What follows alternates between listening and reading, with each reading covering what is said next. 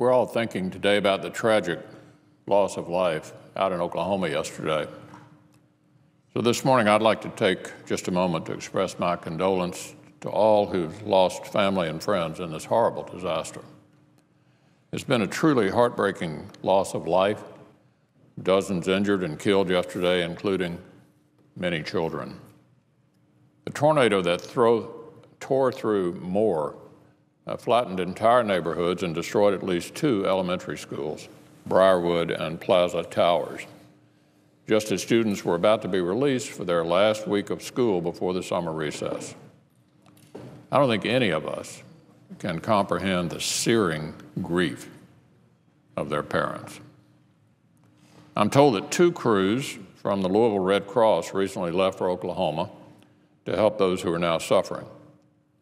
Kentuckians understand the terrible toll these types of storms can take. Just last March, I toured the wreckage of a deadly tornado in West Liberty, Kentucky, where churches, homes, businesses, and schools were reduced to rubble and where several Kentuckians lost their lives.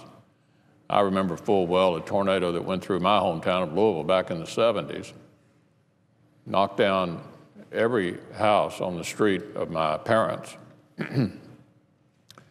My mother was in the basement, and mercifully, it skipped over our house for some reason, but leveled all the houses across the street and the ones next door. So it's really hard to accurately describe the devastation a storm like this leaves in its wake. And as first responders continue to dig through the rubble and Moore, I fear we'll hear a lot more bad news in the days ahead.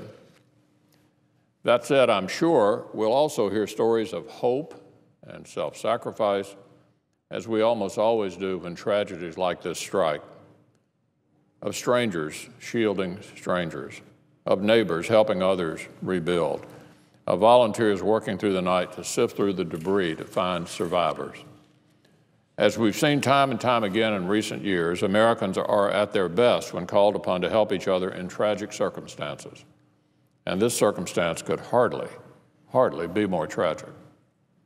So we in the Senate offer our heartfelt prayers to those affected by this terrible storm.